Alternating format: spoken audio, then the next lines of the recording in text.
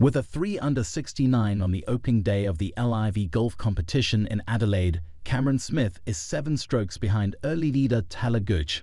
Smith, the shotgun starter's first hole starter and captain of the All Aussie Ripper GC, made five consecutive pars before hitting a birdie putt on the par 3 sixth hole. Before making a costly bogey on the par 3 12th, he had more birdies at holes 8 and 9.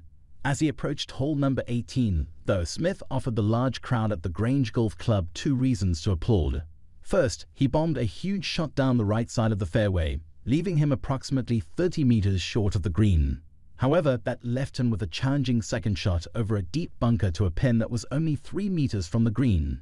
However, Smith, known for his skill with the wedge, blasted a sharp shot that bounced flawlessly and checked to a distance of roughly 50 centimeters from the hole. The crowd, which had been permitted to go close enough to the winner of the current British Open to burst the ropes, went crazy. The mood was referred to as magical by renowned analyst David Feherty. Smith made the putt, which again enthralled the audience. That was epic out there today. I don't think I've been nervous that many times in a round before. It seemed like every shot.